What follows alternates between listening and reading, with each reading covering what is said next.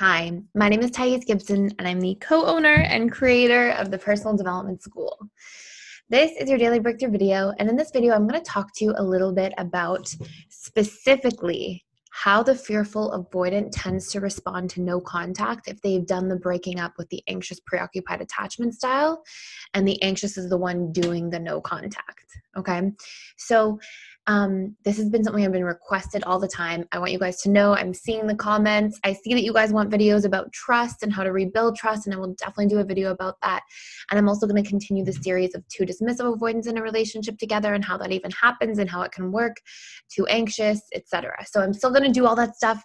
Um, I just had an enormous amount of requests around this today specifically, so I figured I'd put this out here and just sort of change up the series and, and what we're putting out every day. But all those things are still very high on the to do list. So, um, on the video to do list, I guess.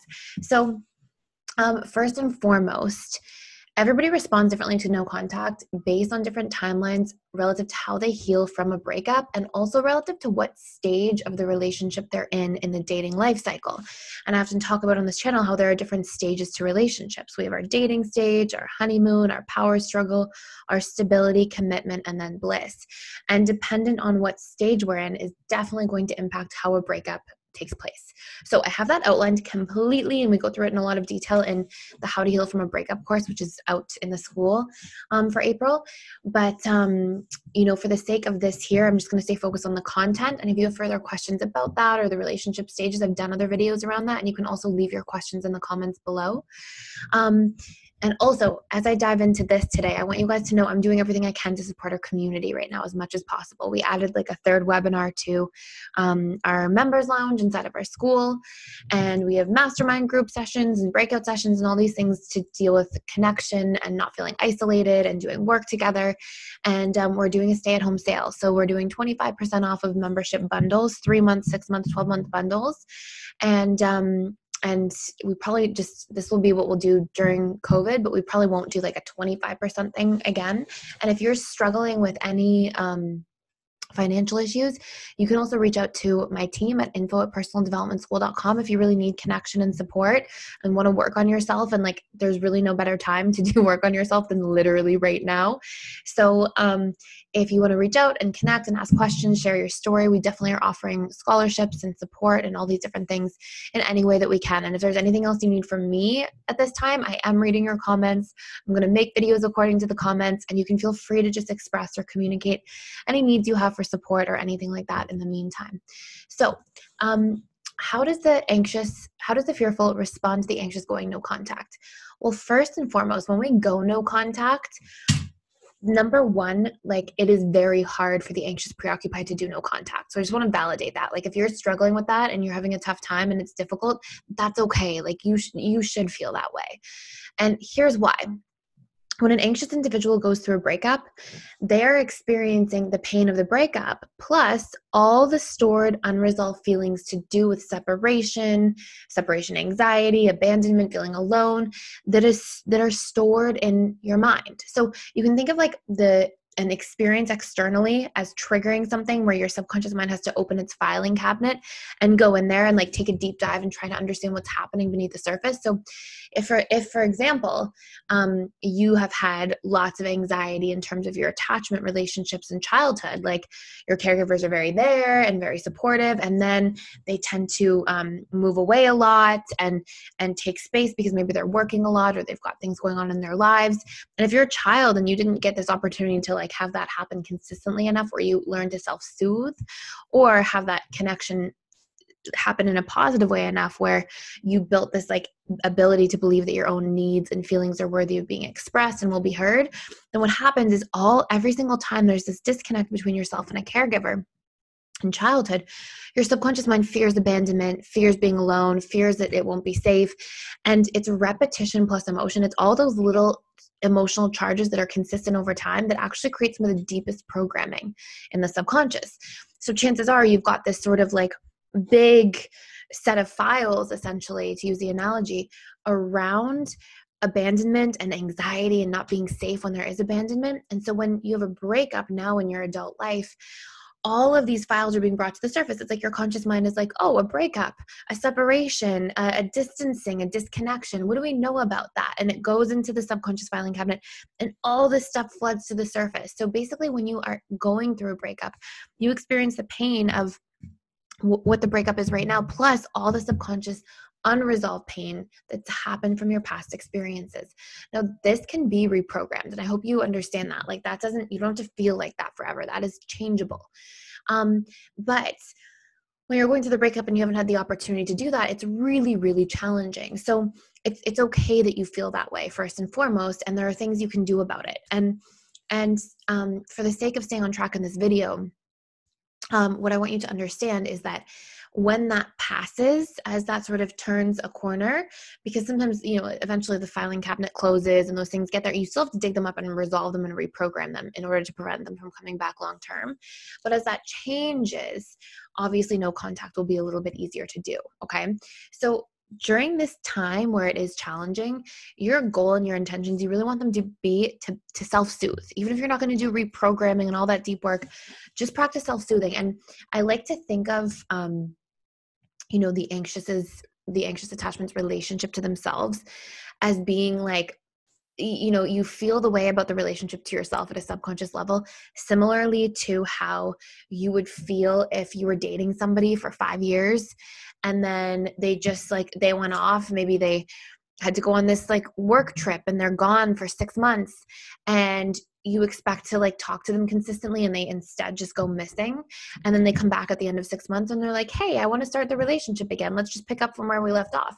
You know you're going to have this like natural discomfort with that person first and you're going to have to like reestablish trust and get to know the person all over again and understand what happened in that 6 months and dive in and maybe even do some forgiveness work around that with that person. And understand what your boundaries are and what you need from them and like you're gonna have to do some work there. And you can think of that as representing the relationship you have to yourself right? It's like you can be so disconnected from yourself and your feelings and your needs and your boundaries and the expression of them and not losing yourself in other relationships around you. And so when you have gone missing from yourself for a period of time part of why it's so difficult to self soothe at the beginning is because it's like saying you want that person to come back after six months of not talking and you're like what happened where did you go? And you expect that that person's going to be able to soothe you like that. You're not they're not it's going to take a little bit of time for that connection to be reestablished, that trust to be reestablished. And maybe with that six month person gone missing, it's not a healthy thing, but in the relationship to yourself, it will, it will always be a healthy thing to reestablish that trust and that connection. And it's once you have that trust and connection in your own ability to like feel your feelings, listen to your feelings, use them to identify your needs and intentionally get those needs met through yourself first and show up in those areas of your life. And once you've built that trust in the relationship to yourself over time, self soothing becomes natural and normal and quite easy. But it's when we don't know how to do that and we don't trust ourselves to do it that sometimes I see anxious get frustrated like, why can't I self soothe immediately? And, and the answer is, because you have to build that up. You have to build that trust up. You have to know what to do. You have to build that trust that you can meet your own needs. And sometimes your subconscious mind doesn't trust parts of you. And it's it's not your fault that okay, I just want to make sure the microphone is on. It's not your fault that um there's been a struggle there. It's just you weren't taught those things and your subconscious got patterned in with certain programs that said, we soothe through others and always look externally. But that's such important work that you have to do in order to be able to emotionally regulate when things do come up, when challenges do happen. Part of you becoming secure means rebuilding a relationship to yourself, digging deep into yourself, understanding, having insights, awarenesses, building trust, building connection, listening to your feelings, setting boundaries, all these extremely important things that we need as human beings to be able to navigate our lives effectively and every relationship effectively. Like literally to have thriving relationships, you need to be somewhat masterful at those things. So so think of a breakup going back to i sort of went on a tangent there but think of a breakup as like when you go through this challenge or this disconnect it's like a really important opportunity for you to go inwards and start doing this work in the relationship to yourself. And it might be discomfort, it might be uncomfortable at the beginning or frustrating, but it's really important to build and start trusting and trying to do that work for yourself. Now, in reference to how this impacts the dismiss or the fearful avoidant, they start to wonder, usually if they've done the breaking up with you, they start to wonder about like where you're at and what you're feeling around three weeks. And it's really around the three to four week mark that they start to be open and like maybe have some regret or some remorse and start to want this like connection again and usually miss you if you've gone no contact. And the reason no contact can be really effective is because it, it, it magnifies those doubts. Everybody has doubts when they break up in a relationship. Everybody wonders like oh what if we did this? or what if it's normal. It's the brain like detaching and going through some of the, the grieving process. But um, we feel those things more if we have to sit with them. If we don't feel like that person's there you know we're not taking them for granted we're not like oh they're there if we do want to get back together. We're like actually having to look at the the magnitude of our decision. And so it can really impact and, and they can really be feeling these things at that point. Now i say this in every no contact video and i just want to like super put this out here again. Um if this is you experiencing this is this this is what you're going through it is so important that if you're trying to do no contact it's not like this manipulation strategy to get somebody back because if you do it that way it's never going to work anyways even if your relationship works it's not going to be any healthier. You have to do this because you're able to set boundaries for yourself. You're going to let that person sit with their decision and really think about it and if they decide oh my gosh I want to make this work and they want to show up and they want to be like I'm here to to work on this with you and do things together and let's dive into some of the patterns that weren't working and let's talk through things and let's talk about our expectations and our needs. Like if somebody wants to show up with you and you've given them that space to think about it and decide if they want to show up that way that's beautiful. And you have to be clear during your no contact time what you would need if the person does return what you would need in order to um, reestablish that connection in order to really work things out together right? So so you want to make sure you have your boundaries set up. You want to make sure you have your intention set up for no contact and you're really clear about that. And through doing that, you will see positive outcomes from doing this. Okay. If you're just using this as like you're just hyper focusing on the other person, you're not working on yourself, you're just like waiting for them to come back and wondering and all these different things, and then like hoping that the strategy works and just trying to willpower your way through it, you're not doing any favors for yourself. So I hope that that's, you know, really clear. Now, I will say one other thing.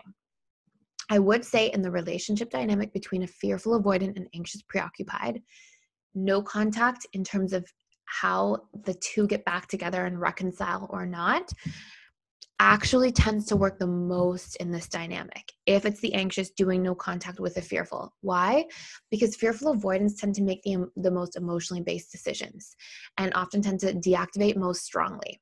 I was talking about this earlier in a webinar i was doing today and you know, if you take a, let's just say as an example, if you take a dismissive and a fearful avoidant together, yes, the dismissive is going to naturally, consistently deactivate more in the relationship. But if there's a problem or the fearful avoidance triggered or there's a challenge, the fearful avoidant will deactivate more strongly than the dismissive avoidant pretty much ever will. They'll be like, I can't be in the relationship, and they'll have such extremely doubtful thoughts and the reason for this is because the fearful avoidance tend to have like more major triggers in terms of trauma responses. And so the more like trauma we have stored subconsciously, the stronger our fight or flight response becomes or we could also say our freeze or fawn response becomes so the, the more stuff that's stored there the more strongly it comes out.